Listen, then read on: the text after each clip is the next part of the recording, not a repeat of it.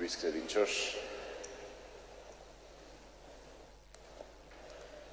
dacă ați fost sau dacă veți ajunge prin catacombele Romei, unul dintre cele mai des întâlnite simboluri după acela al peștelui este simbolul lui Isus, bunul păstor.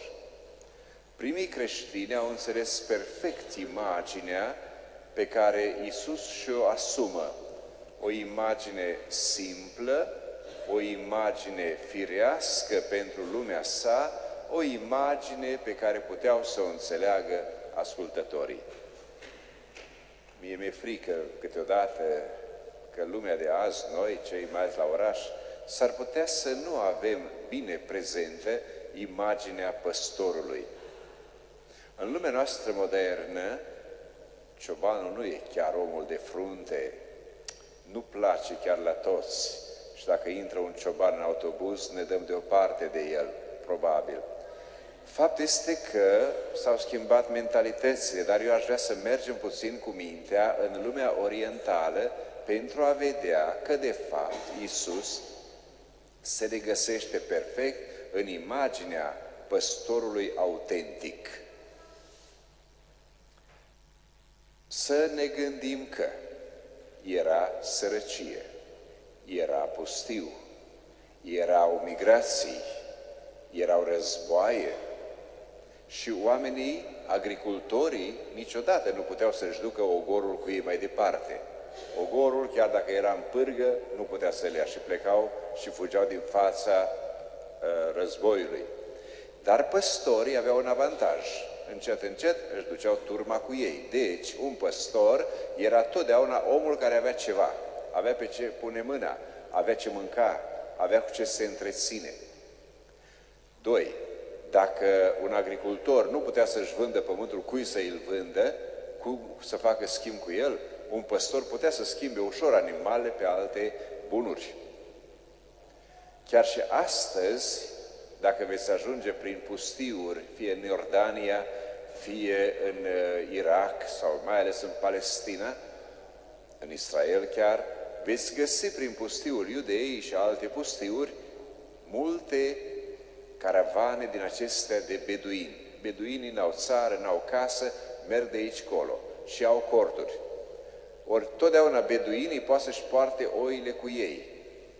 Și în forma aceasta le pasc, nu le țin în staul niciodată și de aceea se spune că ei trăiesc din vânzarea oilor și a miilor lor. De ce sunt mai bune? Pentru că, normal, cu ocazia sărbătorilor, arabe, mai ales musulmane, când trebuie să se înjunghe miei, la sărbătoarea Adha, vor căuta totdeauna miei din turmele beduinilor, pentru că sunt crescute la soare, sunt crescute cu hrană de pe câmp și sunt crescute în mișcare, nu în staule. De aceea am vorbit odată cu un beduin și mi-a zis, noi avem cei mai buni miei. Să revenim. Iată de ce Iisus își alege această imagine. Sigur că un păstor, dacă vrem să intrăm în mentalitatea timpului, are câteva calități extraordinare, sau roluri, dacă vreți. Ce trebuie să facă un păstor? Mai întâi de toate, el are oi. Este un om bogat. Are oile sale, îi aparțin. Chiar așa spune Evanghelia. Oile îi aparțin. Ori noi, ca să facem o permanentă paralelă între păstorul obișnuit și păstorul Hristos sau Dumnezeu. Sigur că noi aparținem lui Dumnezeu. Noi nu suntem mai nimănui, nu? Noi, oamenii, aparținem lui Dumnezeu prin creație și apoi prin existență. De aceea, iată, Dumnezeu ne are pe noi. Noi aparținem cuiva. Iată, Iisus așadar spune, voi ai mei veți fi până la sfârșitul veacurilor voi ai mei sunteți. În al doilea rând, un păstor hrănește. Oile, ele, cât pricep ele, mai ales prin pustiu, nu vor fi niciodată să-și caute hrana. Trebuie duse. Și păstorul a văzut și asta e frumos, așa când face o imagine cu oi care urcă munții, coboară cărările pe pante și așa mai departe. Deci păstorul le, le duce, le hrănește Și iată că Dumnezeu, de fapt, dacă ne gândim bine și Iisus Hristos în speță, hrănește. Dumneavoastră, nu știu dacă v-ați pricepe să construiți un fir de iarbă, mă îndoiesc. Și totuși noi ducem, avem cele necesare, prin creație, iarăși spun, prin forma de existență a acestui pământ. Dumnezeu ne hrănește și trupește, dar ne hrănește suflete prin Euharistie. A avut grijă de acest lucru Hristos, să hrănească pe ai săi. 3.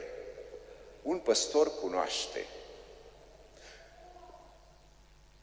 Poate știți de la bunici, de la cei mai bătrâni, care țineau foarte mult la animalele din curte, că se creează un fel de interdependență, un fel de dialog, aș putea spune.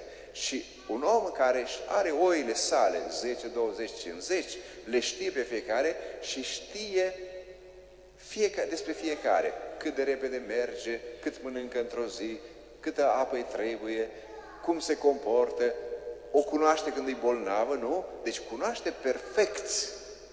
Ori, să revin, Iisus Hristos, Dumnezeu ne cunoaște pe fiecare, doar am fost creați de El, nu? Știe de ce avem nevoie, doar este atotștiutor, nu?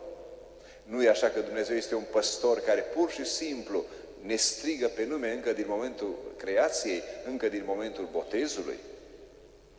4. Un uh, păstor, un păstor totdeauna va și vindeca. Nu știu dacă vă puteți imagina niște stânci prin pustiu, prin zonele Orientului. Sunt niște pietre foarte mari, scaieți imensi, pentru că nu plouă o luni pe an, și atunci oile se pot foarte ușor răni acolo. De aceea, de aceea Iisus chiar vine și vorbește, și profetul Isaia de asemenea vorbește despre pansarea unei oi. Adică îngrijește pe cea bolnavă, pe cea accidentată, pe cea care este în probleme. Ori iată că Iisus Hristos, și aici poate am vrut să ajung și este punctul culminant, Iisus Hristos pur și simplu a venit El însuși să ne panseze. Adică noi avem o rană foarte grea a păcatului, da? Toată lumea știe, nu trebuie să, să argumentez eu. Ori, vine și pansează rana păcatului, vine și o șterge aproape, vine și o tratează cu sângele, cu propriul său sânge. Și am putea continua cu, cu paralelele acestea, cu vocea care se aude și așa mai departe. Dar uh, am, am vrut doar să vedeți cât de perfectă este această imagine a păstorului. Pe de altă parte, în al doilea rând, vorbim despre păstorii pe care Iisus îi dorește mai departe. El a rămas foarte puțin pe pământ. N-a rămas un păstor vizibil. Uite, aici Iisus, dincolo Iisus, nu. Și a vrut să-și lase loc țiitori. Așa se face că apostolii au fost primii păstori. Chiar așa, de fapt, dacă vă amintiți bine, bine, când îl angajează sau îl numește pe Petru, primul dintre apostoli, spune, paște oile mele, ca și cum fii păstorul pentru mine mai departe, Petru. Paște mielușei mei. Sunt niște expresii, iarăși revin cu, cu frică, s-ar putea să nu, nu le înțelegem perfect, dar ele au atâta consistență, au atâta bogăție, au atâta sens încât nu vă puteți imagina. Paște oile mele. Și de aceea se vorbește adesea despre episcop, despre preoți ca păstori. Sigur, pe de altă parte, păstorul mai are o problemă grea. S-ar putea, pentru că el are bogăție, nu? Are pe seama lui bogăție multă, care ispitește pe tâlhar, pe host care nu știe multe și azi se fură de multe ori prin satele noastre, nu? Uh, își riscă viața. Foarte mulți oameni știm că au murit apărându-și bunurile lor, apărându-și turmele lor. Ei bine, iată că istoria de 2000 de ani ne spune așa, și păstorii sufletești, păstorii lui Hristos au fost în mare pericol. Nu știm de ce trebuia să fie acest lucru. Nu știm de ce trebuia să se întâmple așa ceva. Nu știm de ce trebuia să moară încă de la primii apostoli. Știți că toți apostolii au murit pentru credință. Știți că 300 de ani s-a murit pentru credință. Știți că de 2000 de ani curge în fiecare zi sânge de creștini și de păstori. Știți că au fost și în secolul 20 mari nenorociri.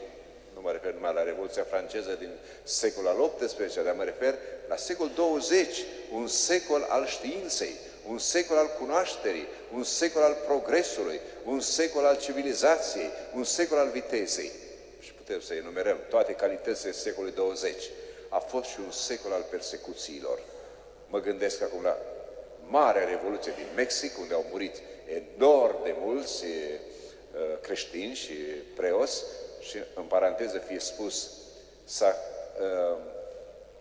s-a realizat un film care se cheamă Cristeros, și care vorbește foarte interesant despre persecuțiile din Mexic. Și ca să vedeți ce înseamnă, timp de 10 ani în Franța, acest film a fost pur și simplu interzis. De ce? Întrebare. De ce? Revin. Uh, să amintim de Revoluția Spaniolă, unde s-a murit pe capete. Să amintesc de uh, Revoluția Comunistă, cât s-au murit în Rusia și în România, să mă gândesc la alte și alte forme de persecuții. Oare de ce?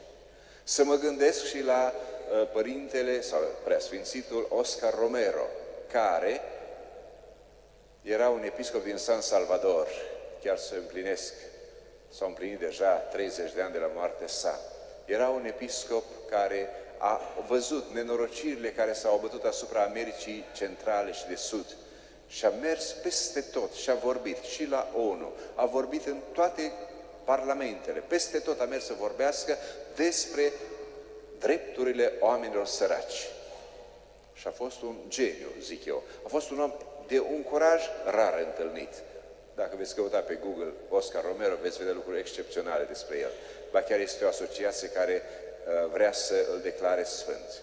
Dar, acest Oscar Romero n-a plăcut, sigur, n-a plăcut atunci când cer drepturi, s-ar putea să nu place. Și mai ales când trebuie să spui, uite, acela a greșit. Și atunci el, în ziua de Sfântul Iosif, dacă nu mă înșel, în luna martie a anului 1983, el a fost asasinat în capela unui spital unde celebra Sfânta Liturghie. Și un colaborator de al său spune, parcă sângele său s-a unit cu sângele lui Isus Hristos din potier păstori care mor. Dar de ce să mergem tocmai în San Salvador, dacă noi aici, iată, în aceste zile, vorbim din plin, mult și poate insuficient, totuși, despre episcopii noștri care au murit în închisoare.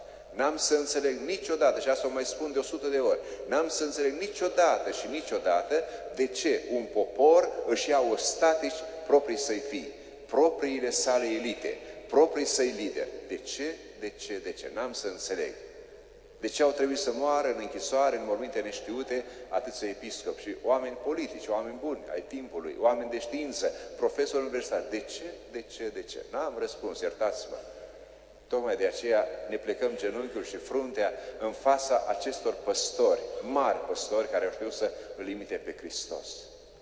Ba chiar eh, alaltă el vorbeam cu Părintele Cornel Cadar și îmi spunea o mică poveste că până și